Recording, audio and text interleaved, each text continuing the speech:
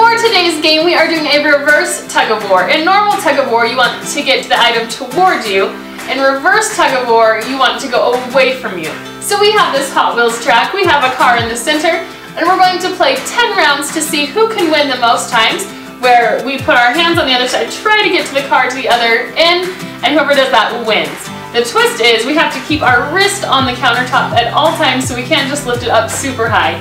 Are you ready to get started? Yeah. Okay, hand flat to start. On your mark. Get set, go.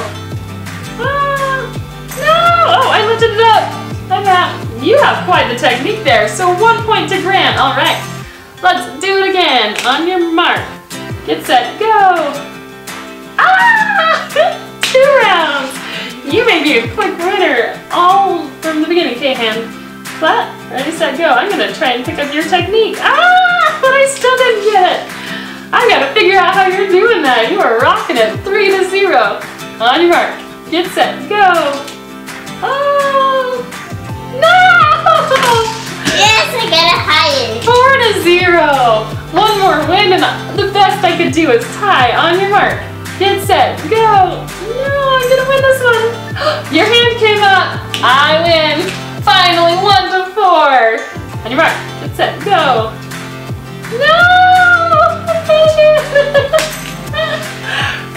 To one. Yay. One more and he's the all-out winner. I have a chance to tie still. I'm gonna have to have quite the comeback.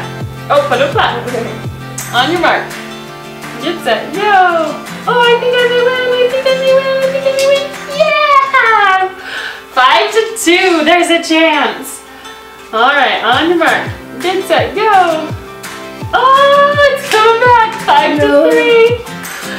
I think I figured out the technique. It took me a while. On your mark. Oh, you can't start yet. On your mark. Get set, go. No! I Grant is our big winner. Nice job.